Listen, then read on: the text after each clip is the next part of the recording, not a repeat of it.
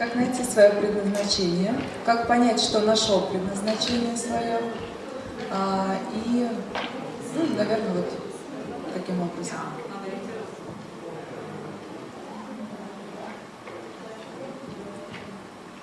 Иногда проблема не предназначения, а возможности что-то делать. Если говорить техническим языком, то у вас в психическом теле нарушено движение праны, связанное с деятельностью. Ну, то есть прана — это энергия, дающая волю человеку, дающая концентрацию внимания, способность активно трудиться, э, не уставать от работы. И есть еще поражение человека пять психических слоев, на третьем психическом слое находятся мысли человека. Там у вас блок, там, где мысли, вот энергия праны там блокированы. То есть вам тяжело думать, когда вы что-то делаете.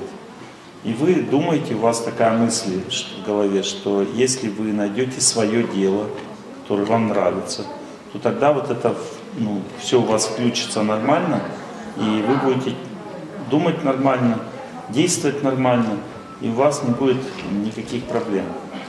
На самом деле эту функцию можно включить только с помощью длительного движения. Вот вам надо минимум ходить 2 часа 40 минут раз в 4-5 дней, а максимум 4 часа, это все психическое тело очищается. Если так непрерывно ходить 2 часа 40 минут, то через 6-7 месяцев вы пробьете этот блок, и у вас заработает нормально голова с точки зрения возможности действовать. А дальше уже с этого момента начинается уже предназначение. Понимаете? Вот э, че, какое у вас образование, чем вы занимаетесь? Я врач-косметолог. В принципе, у меня в плане работы все в порядке. Но я думаю, может быть, что-то другое у меня там, по предназначению может быть, и не тем каким-то Вот, видите, вот вы опять же в свою сторону. Но работа у меня любимая. Но тогда о чем вопрос? Если вы задаете его вопрос, значит, э, то, что я говорю, имеет место быть.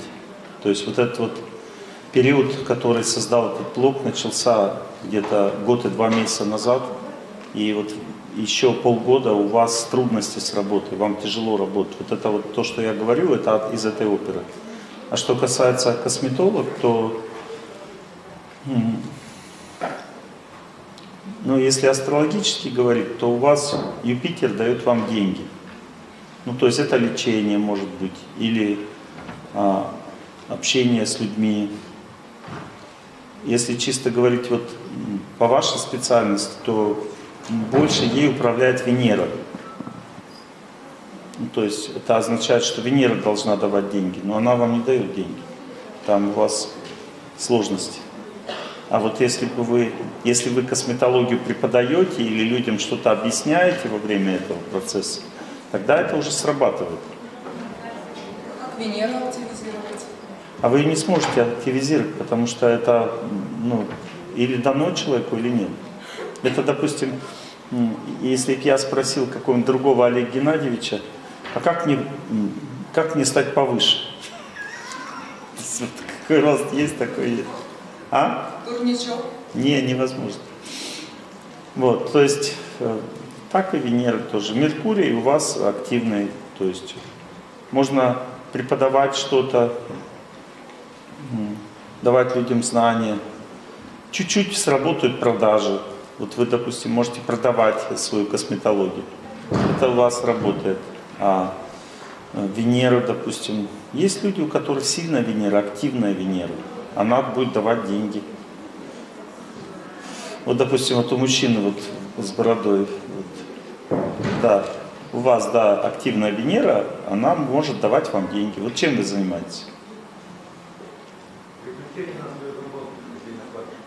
О, видите, приключения на свежее, это Венера. Отдых. Зарабатывание на отдыхе. Понимаете? Он нашел свое предназначение. Ну, вы тоже нашли, это нормально для вас. Вы по природе врач. Ну, то есть вы говорите косметолог, а есть еще понятие врач такое. Вот вы врач по природе. Вы можете людям помогать, давать им знания, лечить людей. Вот это ваша природа. принципе, да. Спасибо. Но не забудьте, что я вам сначала начал говорить о чем. И поклон вам, Олег Геннадьевич, за то, что Спасибо. вы ну, учите нас жизни. Я, по-моему, всю жизнь живу в стрессе. И вот я сейчас уже Вы просто суетитесь. Не в Ну. стрессе, у вас, у вас э, тоже вот нарушение движения праны такое, что вам надо себя преодолевать постоянно. Вы себя как бы заводите. ну, Это, да, это тоже связано с блоком на втором психическом слое. Эмоции находятся у человека. И там у вас тоже блок праны. И вы поэтому эмоционально пытаетесь ну, себя включить в деятельность. И эта чрезмерная активность вот такая, она называется суетой. Вам не нравится, что вы суетитесь. Это побеждается только длительным движением. Это не стресс, это называется суета. Вот эту суету надо убирать. Вот на данный момент у вас стресса нет. На данный момент. У вас стресс был полтора года назад. У вас был какой-то, ну, трагедия какая-то в жизни была там. Может, кто-то ушел из жизни, я не знаю. Полтора года назад у вас был стресс. Сейчас вы из него вышли. А, но, но суета, как она была, так и осталась. Вы всю жизнь суетитесь. Ну так-то да, потому что фамилия у меня Суетина. У меня вопрос... Значит, не вы первая, значит, это до вас уже кто-то там суетился и его так прозвали поэтому. У меня вот вопрос такой. Я когда уволилась с работы, я пошла работать в храм. Работала я там, ну, пять месяцев я работала уборщицей, еще три месяца работала. Я просто, ну, во славу Божию, там на свечах помогала. Ой, молодец какая. И мне встречается мужчина, с которым я раньше была знакома. Значит, ну, мой первый муж, я с ним была разведена, он потом заболел и умер раком. И вот этот мужчина, с которым я сейчас сожительствую уже второй год, он пьяница. И это третий пьяница, которого я пытаюсь в жизни спасти. Вот прям кидаюсь их спасать, А этих чё, вы, а чё вы, зачем вы знакомились, если вы знали, что он пьяница? Не знаю, у меня какая-то пелена прямо в глазах. И мне теперь, я очень пожалела, то, что я сошлась с ним, а не осталась работать в храме. И у меня всегда вот такое возникает То есть вы хотите, чтобы я сейчас вас э, развел и вас в храм отправил, да? Ну, Или я, что? мне что, уйти от него или остаться, отрабатывать Ой, храме? моя хорошая, я не могу такие вопросы решать, я же не Бог. Я и двух священников ослушалась. Э, Ну, меня тоже ослушайте, значит, что тогда меня спрашивать, я же не священник. Что, просто, при- ну я просто Я не могу ничего решить вам, на- сказать ничего не могу. Божью, так сказать, С пьяницей волю. жить это очень тяжело и опасно.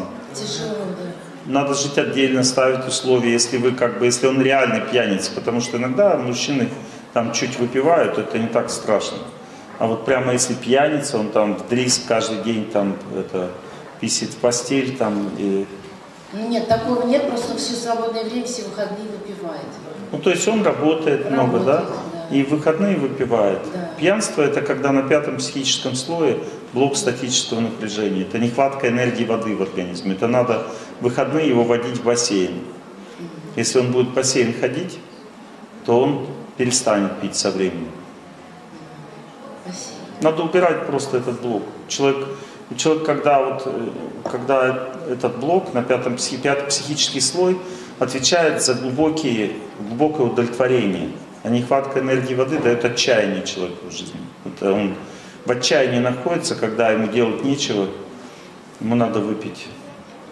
Или по бабам гулять. Тут два варианта есть у мужчин. Это по бабам или выпить. И обычно у человека нарушен сон на засыпании, то есть он плохо засыпает, да? Ну да. Ворочается долго или поздно ложится спать. Ну да, есть такой. Ну вот это блок на пятом слое статический. Надо в бассейн ходить и там, если 28 градусов вода, то 70 минут надо безвылазно в воде находиться, чтобы дошло до пятого слоя вода и пробила его, этот блок. Так, ну перед, перед же- женщиной, вот перед. ага. Спасибо большое. Мне вам какой вопрос. С детства я очень боюсь темноты. Вот с 12 до 4 мне жить. Я могу вам ответить на ваш вопрос. В прошлой жизни вы ушли из жизни вот неожиданно в темноте, насильственной смертью вас убили. И вы если, мои хорошие, если вы меня спрашиваете, то не надо вот так пожимать плечами. А ясно, ясно, что вы этого не знаете. Я знаю, я вам говорю об этом. Вот, если меня спрашивают, слушайте. Вот, и э, в каком бы состоянии человек не уходил из жизни, это состояние потом жизненной нитью идет через всю следующую жизнь. И поэтому вы с детства боитесь темноты, потому что стресс, вот в момент смерти человек испытывает вот это состояние, и потом он уже дальше с ним живет. И это не только у вас, это ну, у всех людей момент смерти запечатляется, и каждый человек, он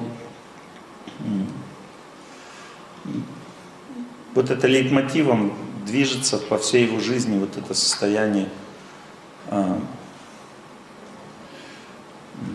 Допустим, вот девушка в отчаянии ушла в прошлой жизни. Да. Поэтому вы в состоянии отчаяния быстро входите, вспыхивает отчаяние у вас внутри быстро. Это тоже результат прошлой жизни. И как бы человек борется с этим всю жизнь. Кто-то высоты боится, кто-то боится замкнутого пространства, значит, завалило чем-то человек. Кто-то огня боится, значит, сгорел. Ну, то есть э, очень сильно вот с прошлой жизни эти впечатления остаются в сознании. И я могу видеть это у каждого человека, даже не надо рассказывать. А? Ну, если техническим языком как бы говорить, то вот эти состояния, они запечатлеваются на пятом психическом слое. Вот э, у человека есть три психические энергии. Есть энергия воды, или на санскрите это называют энергия Оджаса, энергия праны или энергия воздуха, энергия солнца или энергия теджеса. У вас э, на пятом психическом слое блок энергии солнца. Я это называю негативным тонусом. То есть негатив там заложен внутри негатив сознания. Надо включить мне тоже. Да. Ну, самое интересное, что когда у меня муж очень рано ушел, мой любимый муж, а он ушел в жизни, я осталась с детьми маленькими. И вот с ними доме мне было комфортно, я не боюсь Да, да, да, я понимаю. Когда человек попадает в какую-то среду хорошую, ему легче переносить эти страхи все. Ну, то есть это побеждается с помощью двух с половиной суток поста. Но пост, он негативную энергию, он засасывает энергию солнца в организм, пост. Спасибо. Вот, поэтому люди постятся на воде, потому что без воды жарко становится. Человек, когда постится на воде, он охлаждает себя.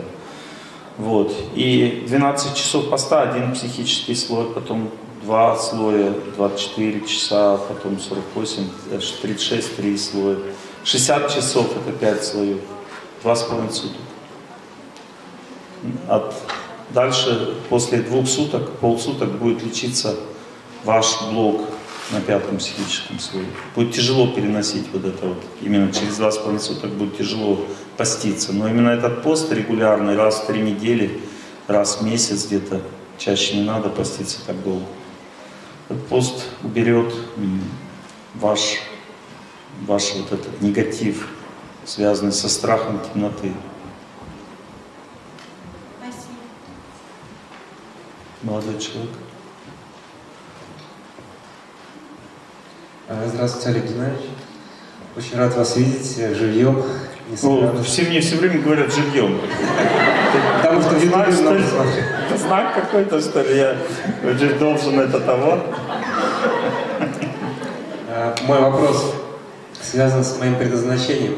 Хочу вас спросить, что вы мне помогли увидеть, э, чем хочет, э, чтобы я занимался в своей жизни Бог. То есть мое социальное предназначение, как мне зарабатывать деньги найти свою любимую работу. Вот смотрите, вот предназначение слова, оно очень широкое. Вот цель человеческой жизни – это приблизиться к Богу. Вот любого человека. Вот животное, оно имеет другое предназначение. И предназначение – это пытаться выжить. Ну и большинство людей тоже пытаются выжить. И часто предназначение, глубокое, глубокий жизненный смысл Э, связывают с выживанием или с работой. Выше работы стоит помощь людям. Если человек, допустим, на работе не мотивирован деньгами вообще, он просто хочет помогать людям, то его предназначение стоит выше. Еще выше, когда человек своим предназначением считает постичь высшую истину, разобраться в высшем смысле жизни. Это еще более высокая мотивация. Но если человек мотивирован чисто выживанием, тогда он выбирает деятельность, которая ему больше подходит. Но она не приносит глубокого удовлетворения. Это то же самое, как спросить, допустим, задать вопрос, Олег Геннадьевич, как мне правильно какать, чтобы я испытывал счастье? Понимаете, ну какать, кушать, спать э, или добывать еду, это является выживанием, это не является предназначением человека. Поэтому если говорить о высшем каком-то предназначении, то это прежде всего деятельность направлена на благо других, молитва, духовная жизнь. Но также человек должен быть удовлетворенным в работе тоже. Удовлетворение в работе – это важная часть жизни человека. Понимаете? Но удовлетворение в работе зависит сильно от мотивации. И вот эта вот мотивация, она меняется всю жизнь. И она поэтому даже может и деятельность поменять. Вот, например, неразвитый, допустим, мужчина, я называю таких мужчин ватрушками. Ну, то есть он вообще, у него не включена воля. И он вообще ходит, думает, что мне делать, мне ничего не хочется делать. Где вот такое место, где деньги дают, а делать ничего не надо. Вот он так вот живет. Потом дальше, когда мотивация становится выше, у человека появляется желание делать что-то для своего удовольствия. Это самый низкий вид мотивации. И тогда человек начинает заниматься хобби. Вот он чем бы ни занимался, это хобби для него. Хобби означает, я вот это могу делать, это не могу. Ну, допустим, представьте, руководитель пришел на работу, и он, э, ему дали задание, там, он должен работать с персоналом. И он говорит, вот я, мне нравится собрание проводить, а вот контролировать их я не хочу. Давайте два человека возьмите, один будет собрание проводить, а другой будет всех контролировать там, э, как бы им давать задания там и так далее, понимаете? Это реальный случай, я вам рассказываю. Этот человек просто находится на стадии хобби, он не развитый как личность. Он может делать только то, что ему нравится. Или человек рисует картины, продает, никто не покупает, он говорит, ну красивые же картины. Эти картины только ему нравятся, потому что он для себя рисует. Для кого другого не рисует. Это называется на стадии хобби человек находится. Ему нравится что-то делать, но это никому не надо. Следующий этап развития – это стадия э, деятельность по способностям. Человек чуть-чуть развивается сильнее, и он открывает свои способности зарабатывать деньги, потому что у него сильная мотивация появляется. Может быть, он женится, и жена его душит. Или еще какая-то причина. Но и он начинает очень активно трудиться с целью зарабатывания денег, и он ну, мотивируется деньгами. А у человека есть способности к зарабатыванию денег. И там, где способности срабатывают больше всего, он этим и занимается. И у человека тогда мотивация, вот это вот зарабатывание денег, она заставляет его много работать, но удовлетворения сильного нет, потому что природа человека не заключается в том, чтобы вот грести на себя. Он же не барсук. Ему нравится обмен с окружающими людьми, какая-то любовь. Вот, поэтому существует еще более высокая природа, называется деятельность по своей природе. И деятельность по своей природе, она находится, ее как бы мотивирующая часть находится в разуме. Разум это такая функция человека, которая направлена на высшие какие-то аспекты счастья, удовлетворения. И только когда человек начинает бескорыстно действовать, вот, допустим, Микеланджело, он ну, делал статуи из мрамора, но он это делал абсолютно бескорыстно, и он жил 94 года и дышал этой мраморной пылью и вообще не болел. У него была такая высокая мотивация, что он по 14 часов в день работал и вообще не знал никакой усталости. И он хотел, чтобы люди были счастливы, глядя на эти вот статуи. Понимаете? То есть еще более высокая мотивация – это когда человек хочет свою жизнь отдать Богу. И тогда он отрекается уже от деятельности, он становится выше деятельности. Это самый высокий уровень развития личности на Земле. И человек начинает жить на благо других, удовлетворяя Бога, делает то, что Богу нравится. Это самая высокая мотивация. Поэтому все зависит от того, насколько человек развит. Деятельность от этого сильно зависит, понимаете?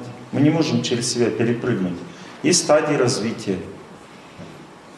Мне просто так вышло, что я много лет занимался э, той деятельностью, которая не приносила мне удовлетворения, очень такой тяжелой. Какая деятельность какая? Что? А, такой физической работы. Я снимал свадьбу, оператор. И э, Да, сейчас- Венера и Юпитер у вас включены, да. я сейчас думаю, в какую сферу лучше мне податься, э, куда. Есть определенные мысли, но хотел Ну какие мысли? Ну давай. Ну, больше всего мне нравится консультировать людей, тоже рассказывать о Нет, здоровье. денег не будет. То есть лекторской деятельности нет? Ноль. А Венера, сфере? только Венера дает деньги. Вот все люди, которые чуть-чуть лекции послушали, все хотят э, коучингами быть, э, психологами, консультантами. Вот все повально прям, я смотрю. Никто работать не хочет, все хотят консультировать. Какую сферу мне лучше податься? Но Венера включена, то есть творчество какое-то, вот съемки хорошо, может быть, съемки фильмов, там еще что-то вот такое, что-то вот связанное с кинематографом прекрасно, с камерой. Ну, вы должны перечислять, я не могу вам прямо сам выдать. А, а- а что мне делать вот с моим желанием э, вот этой вот э, лекторской деятельности? Мне как-то это делать Вы можете, вы можете делать слайд-шоу или какие-то такие визуализация такая красивая, через это давать знания, через какие-то искусства, допустим. Но просто вот бла-бла, для этого должны другие планеты быть включены. Вот люди вас не будут слушать, вот вы будете рассказывать, они будут вот так. А если вы будете Ах, это свадьба, свадьба пела и плясала. Если вы будете петь, тогда они будут слушать вас или, допустим, танцевать, или показывать, кто как танцует, или показывать слайд-шоу, или сделать... Вокалом можно заняться, да? Ну, наверное, не вокалом. Юпитер должен сильно включен быть. Скорее, больше как бы не самому петь, а что-то показывать какие-то через какие-то представления, образовывать людей, если вы хотите их образовывать. У вас это тоже есть. Юпитер тоже, он, действует, но только через Венеру. Он сам по себе не включен. Вот я тоже могу иногда на лекции подпеть, но если я буду петь, все будут угорать и разбегаться. Могу просто там что-нибудь отчебучить на лекции, все, всем Спасибо. все просыпаются. Вот.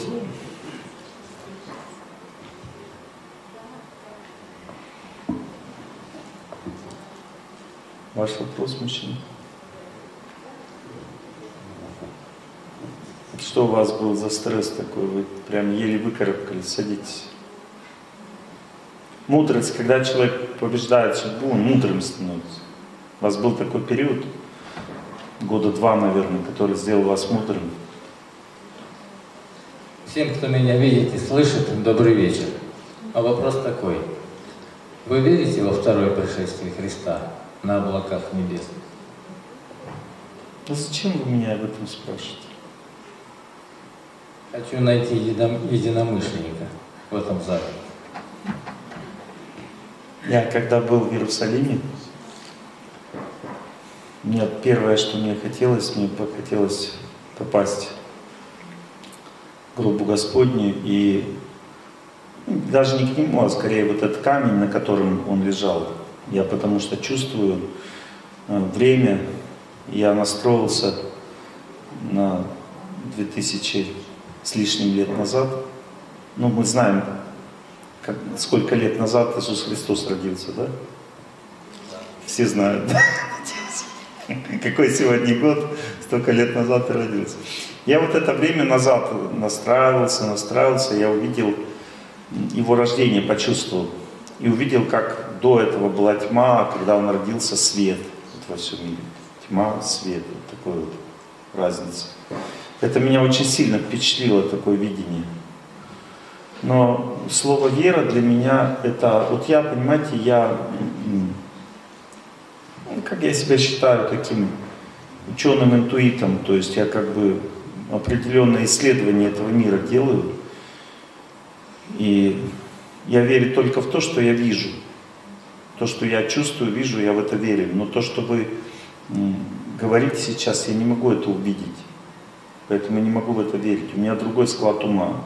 Я вот увидел то, что увидел, в это я верю. А верить в какую-то идею я не могу. Мне нужно исследование и подтверждение э, моим восприятием того, что я, ну, если я что-то увидел, я в это верю. Например, я могу видеть ваш стресс. Вот в это я верю.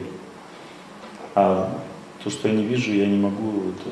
Но если вы чувствуете это, вера означает какое-то ощущение вдали. Ощущение, что что-то будет. Ощущение такое вдали. Да, аминь. Вот это ваше уже, вам надо с этим жить, молиться этому.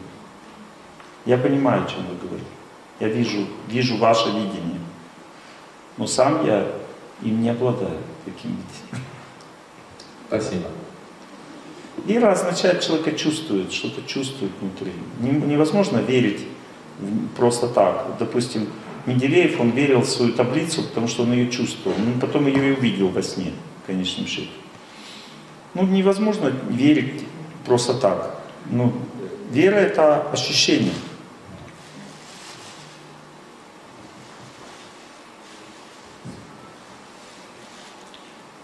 Ваш вопрос?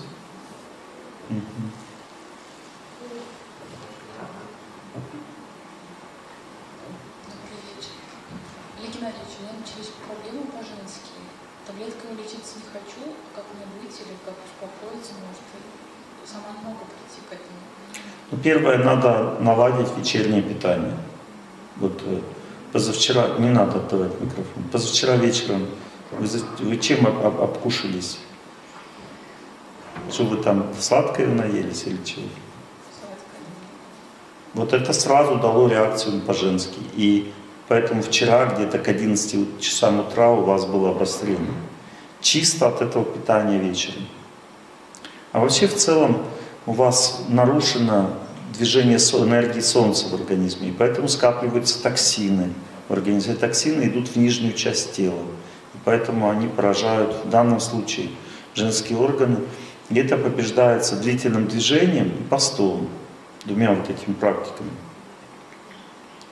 То есть нужно э, двое суток поститься, можно на зелени, допустим, на соках зеленых, например, лист э, салата помогает жен, женским функциям. Можно пить сок листа салата, на блендере взбивать двое суток, раз в три недели где-то. Можно в баню ходить. У меня есть методичка по здоровому образу жизни. Там написано, как правильно в баню ходить. Там определенное количество пребывания в парной тоже токсины сжигает на этом уровне.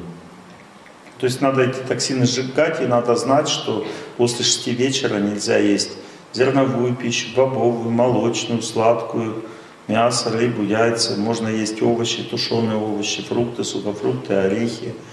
Можно есть гречку, киноа, пшено. Это не зерновые крупы. Можно есть мед даже. Он не вызывает э, вот это токсины, не увеличивает в организме.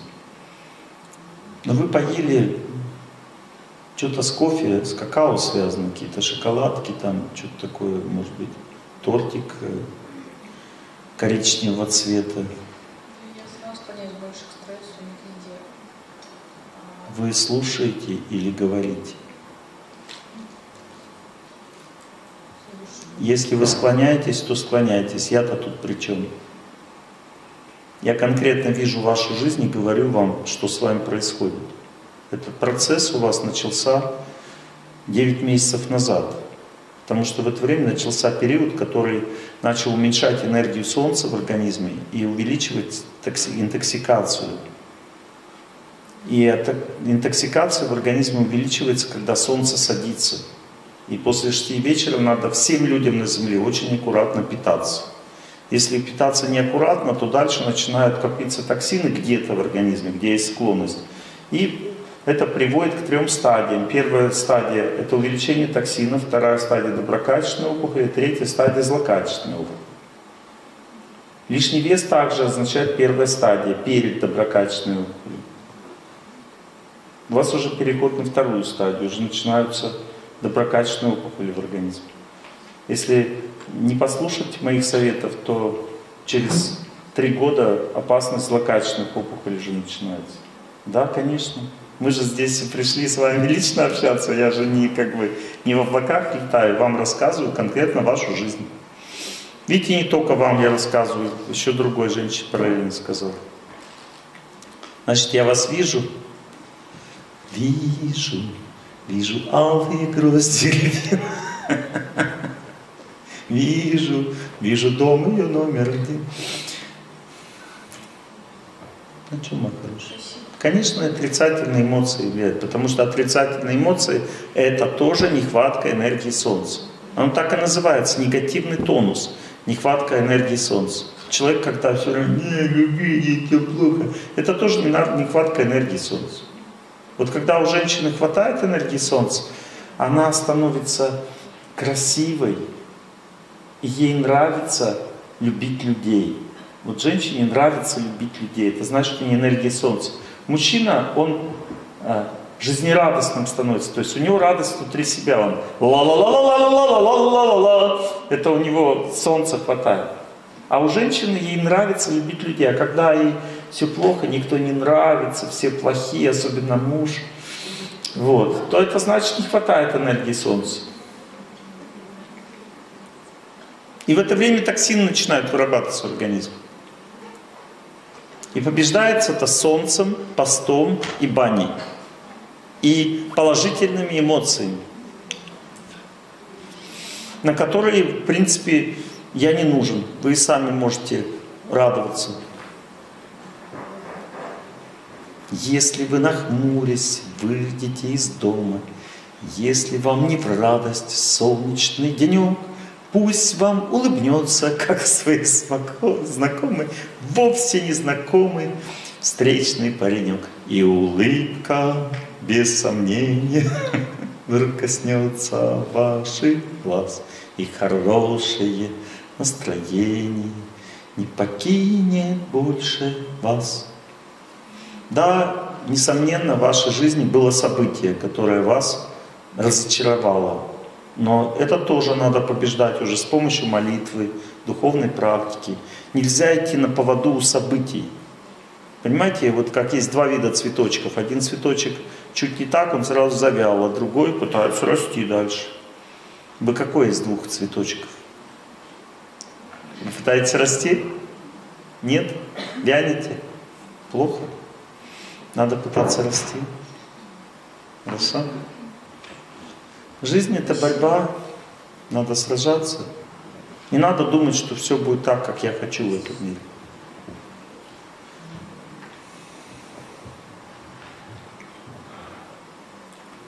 У меня все собрались в зале, где организаторы, или еще ответ на вопрос?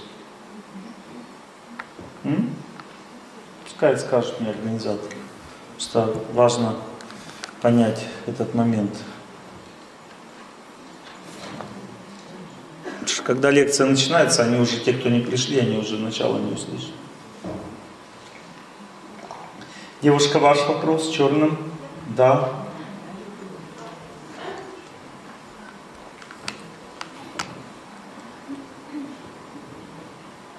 Завтра в 7 утра у нас будет пробежка вдоль набережной. Мы возле мужика на коне собираемся – вот. Мужика на коне знаете? Я забыл, как его зовут. Ну. А? Засекин. Как? Засекин. Засекин, да. Вот, в 7 утра возле Засекина собираемся и побежали. Кто-то ползет, кто-то идет. Я буду бежать 17 километров. Будем бежать километр туда, километр обратно. И когда будем встречаться, будем радоваться друг другу. И кричать «Счастье! Доброе утро!» Мы в прошлый раз, когда так бегали, один мужик, он, когда мы пробежали мимо, мы ему говорим, доброе утро, он говорит, доброе утро. И потом, когда мы второй раз назад побежали, мы ему кричим, доброе утро, он говорит, я с вами уже здоровался. И отошел в сторону, потому что понял, что мы его будем доставать. А потом, когда он увидел, что мы здороваемся со всеми, доброе утро, все время кричим, он, ему, наверное, скучно стало, он опять вниз спустился вниз, и ждет, когда мы пробежим. Пробегаем мимо ему, доброе утро, он говорит, доброе утро, такой. Начал с нами здороваться. Вот. И так вот мы бегали. Потом мы пошли в Волгу купаться. У нас ничего не поменялось, такая же программа. будет сегодня. Мы будем бегать сначала. Надо потеплее одеться. А потом пойдем купаться в проруби. Волги, ну, Волги больше, ну, только прорубь же есть. Вот, когда мы стояли в Волге 22 градуса, мы 40 минут стояли, чтобы 5 слоев прочистить. А сейчас достаточно 4,5 минут. Чем холоднее вода, тем быстрее скорость чистки. Вот я сегодня, когда ехал из аэропорта, мы заехали, как называется? Парк-отель Озерки. Парк-отель Озерки мы заехали. Вот, и там баня есть и прорубь а, возле бани, в озере. Когда мы залезли в прорубь, то три собаки там с другого берега ломанулись такие, бегут. Вау, вау, вау, такие. И они начали на нас гавкать. Но когда мы залезли в прорубь, они такие... И побежали назад, короче. Им холодно стало, что-то. Не испугались. Побежали назад. Вот, и это так классно, контакт с водой, такая чистота внутри становится хорошо. Потом в бане полежали. Вот Володя, он первый раз в жизни это сделал. Он, правда, зачем-то закурил, покурил сначала, и потом в прорубь залез, и нам вонять начал этим табаком. Я ему чуть по шее не дал. Вот, ну так в целом. Как, Володь, нормально? Понравилось? Все, зачем я ходил в аватар, чтобы убрали боль, все это прошло. Прошло, да? Он испугался и перестал болеть. Все нормально. Ну, вы не обязательно про, просто можете постоять, посмотреть, это вдохновение, это важная часть жизни. Вот если вы вдохновитесь, тоже будете ходить потом или бегать. Вот. Собрались все, да? Все.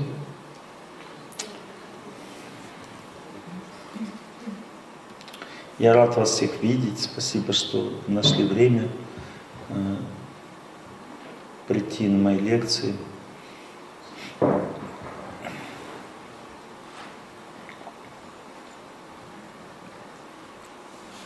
вы девушке дали слово. А? Слово дали девушке, она сможет? Это уже у меня Альцгеймер начинается. Можно Уже. Да? Да, да, да, нормально, девушка. Простите. Добрый вечер, Олег Геннадьевич. Первое, что хочу сказать, уже второй раз на ваших лекциях. И очень рада, что вы есть, и что вы к нам в Самару приезжаете. Я есть, и от меня, когда жена говорит, я так счастлива, что ты есть, я говорю, да, я есть, ем, а, что у меня есть, я говорю, да, я у тебя есть, ем и буду есть.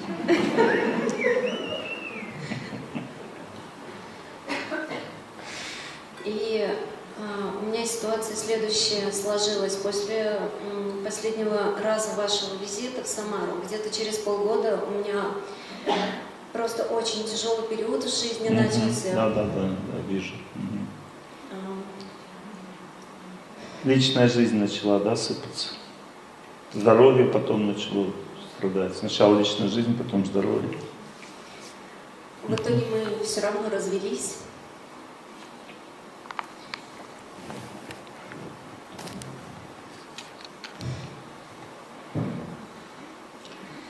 Прощай со всех вокзалов, поезда уходят дальние края.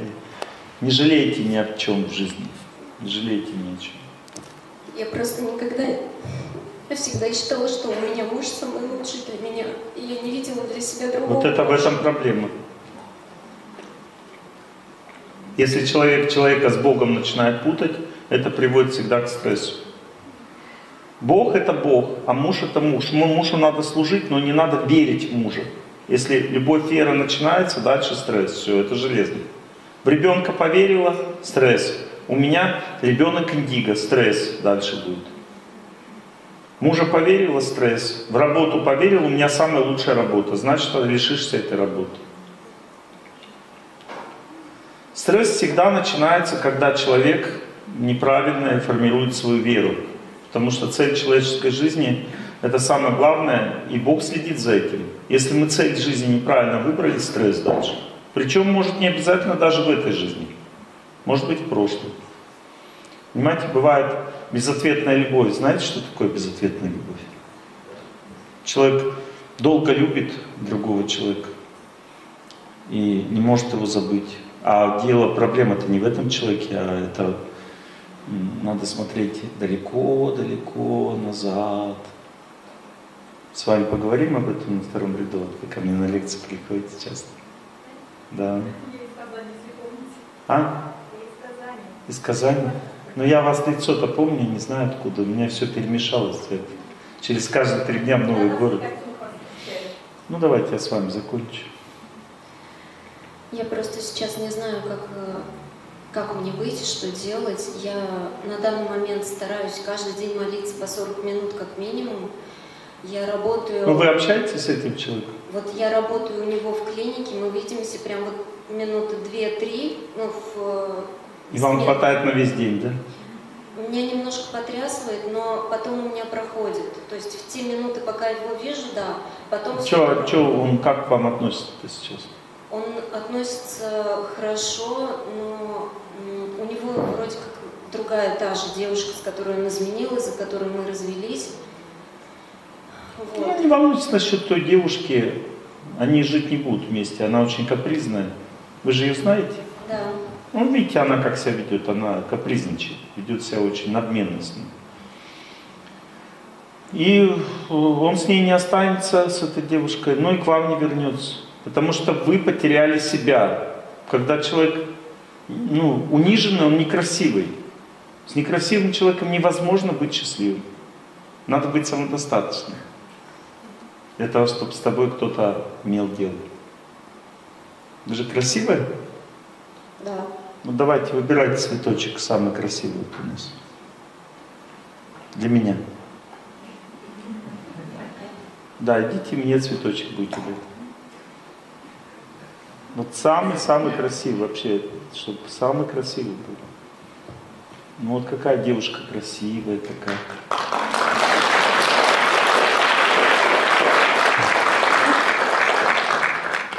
Это самый красивый, да? Да, давайте, мне несите сюда. Все. Видите, какая она хорошая, мне цветочек дали. Все. Вот, спасибо вам большое. Давайте возьмем такой красивый цветочек. Идите сюда. Я теперь вам дарю цветочек. Счастья вам.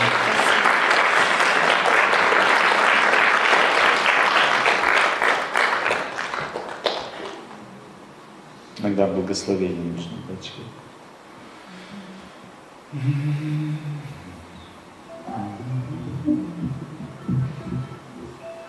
Специально для вас я сейчас посвящаю вам песни. Очень красивая песня. Я с детства люблю. В этой песне заложен глубокий философский смысл, который вам поможет в жизни.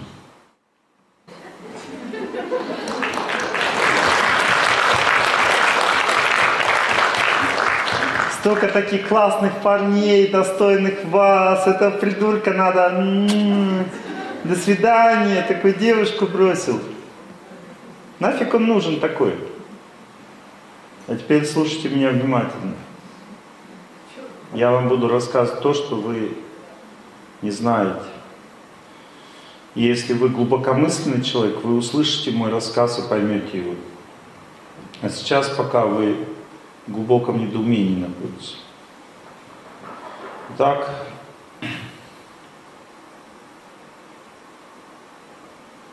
в прошлой жизни вы жили выше Земли, на одной красивой планете, там очень много гор. Она такая уютная, красивая планета. Вам иногда снятся такие сны. Очень красивое место такое, природа такие в горах леса такие красивые, вокруг горы, красивые. Я вижу это место сейчас, очень красивое место. Вы жили у подножия такой горы. В домике таком небольшом деревянном. Вы видели этот домик во сне, знаете, о чем я говорю. в прошлой жизни вы жили 130 лет, потому что чем выше планета, тем больше продолжительность жизни. И так как эта планета выше Земли, поэтому там другая жизнь, там более благородные живые существа живут, там ну, люди, там тоже, мы как по образу подобию Бога созданы, поэтому там тоже как люди, такие живые существа. И э, вы там, когда вам было где-то 21 или 22 года, и так вы познакомились э, с человеком, с которым вы прожили 83 года вместе. Представляете, 83 года. Вы так долго с ним жили, счастливы, никогда не расставались. И вот этот человек просто, которым вы сейчас в клинике работаете, просто похож на того человека. Вот если вы к нему подходите, к этому человеку, вы видите, что он не совсем соответствует тому, что вы вспоминаете. Вот в вашей памяти вы его любите больше, чем при встрече. Так ведь? Когда при встрече вы смотрите на него и думаете, что такое, почему он не такой, как я его вижу? Потому что вы видите другого человека, который вас не предавал. Не этого придурка, который вас бросил, а другого, понимаете?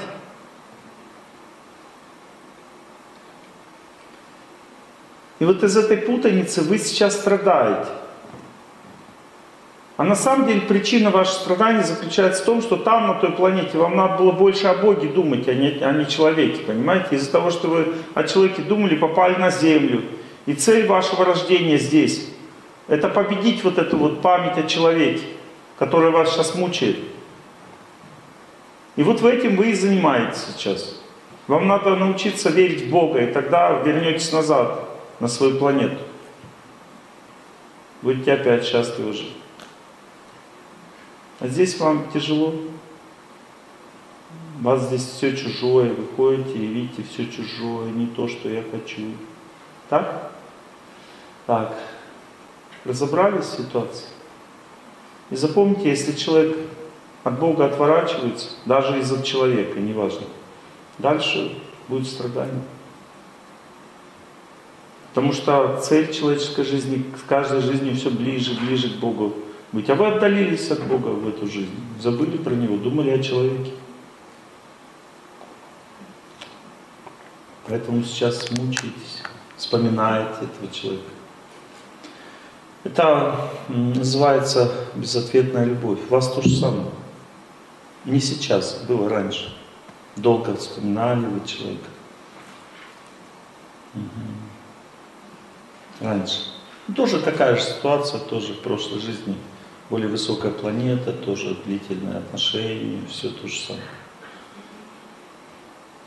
Вот. И не только у вас есть еще даже очень популярные певцы, которые тоже так же страдают, и песни об этом поют.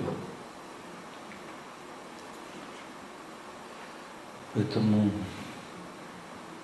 стресс это важная часть жизни. Я вижу того человека.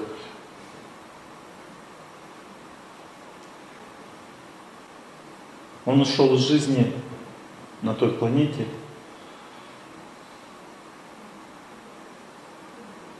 и вспоминал о вас все время, жил один. Он ушел из жизни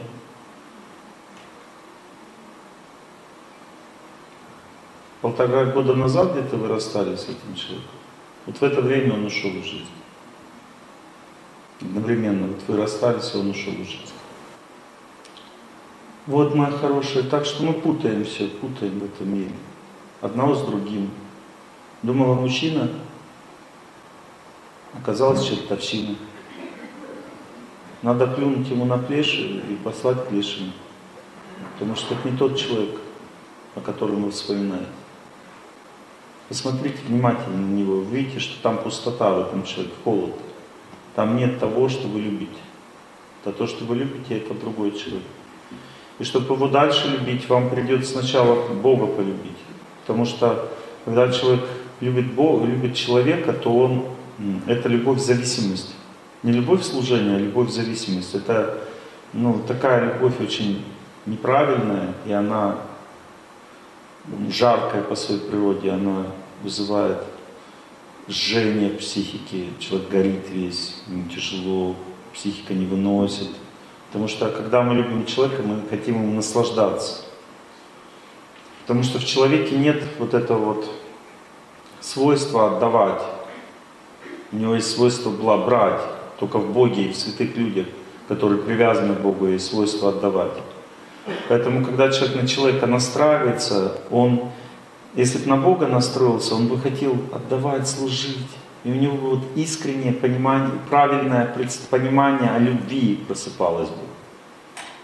Он бы служил, радовался всем людям на земле. Когда человек любит Бога, он служит, заботится по всех, радуется. И когда человек любит человека, он перенимает от человека желание себе, любить себе, любовь брать. И жар появляется внутри, понимаете?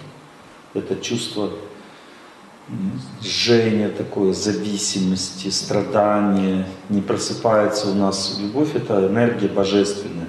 Но когда мы ее используем не для Бога, а для человека, то мы... Любовь означает перенимать, копировать что-то. Мы не то копируем, мы оскверняемся. Поэтому любовь к человеку, она по природе горячая такая, очень болезненная.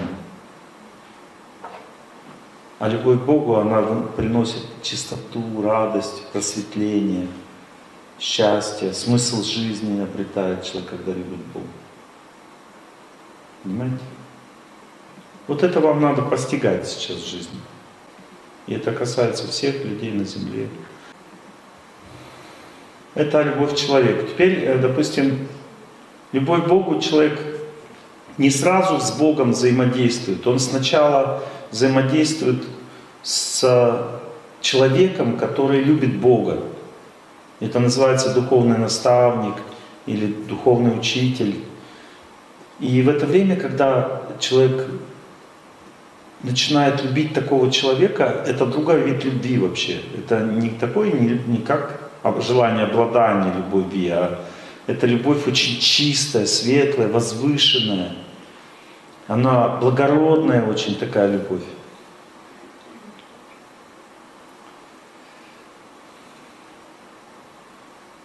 И тогда другие ощущения от этой любви возникают. Давайте послушаем песенку об ощущениях любви, которая уже приближается к любви к Богу. Это уже почти любовь к Богу. Любовь к старшему, это почти именно к святому человеку.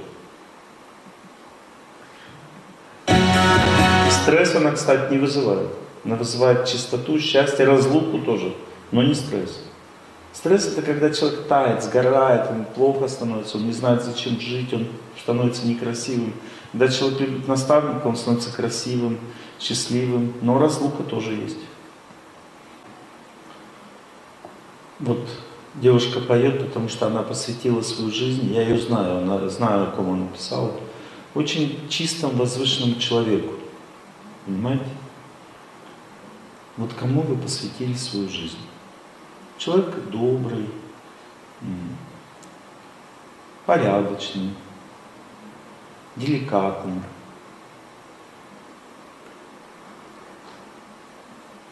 циничный и фальшивый. И то, что я сказал сейчас, это все снаружи. У вас внутри цинизм. Он циник. Он предал вас. Я вижу, как он вас бросил. Там не было никакой причины. Ну, немножко вы эмоционировали, ничего страшного. Каждый мужчина видит, как женщина в эмоциях себя ведет. Ничего страшного. На самом деле сначала начал встречаться с этой девушкой, а потом вас бросил. Это цинизм. И вы отдаете ему жизнь свою. О чем бы человек не помнил, то туда уходит его жизнь. Почему вы отдаете вот этому человеку свою жизнь, скажите? Нет более благородных людей? Я думаю, что есть, намного лучше есть. Ну, ну тогда так есть Бог вообще, который лучше всех людей на земле. Я просто иногда думаю, что в каждых семьях есть трудные ситуации, сложные какие-то моменты. У вас дети есть? Нет. Он и не хотел. Но это тоже цинизм. Взять женщину замуж и не хотеть детей. Какое право мужчина имеет хотеть, не хотеть?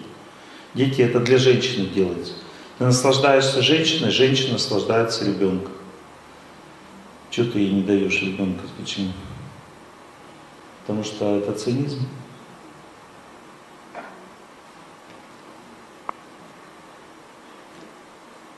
Не уважаете свою жизнь, Я? да? Иногда я не понимаю, что я здесь делаю. Я вам объяснил это, да, что вы не понимаете. Я вам объясню, что вы здесь делаете. Вы просто маетесь до тех пор, пока не поймете, что надо научиться молитве по-настоящему и плакать по Богу. Хотите, чтобы Он проявил себя перед вашими глазами. И вы почувствуете облегчение, счастье. Любовь к Богу приходит, приносит радость, понимаете? Человек становится немножко сумасшедшим, когда он чувствует Бога. Начинает смысл своей жизни понимать.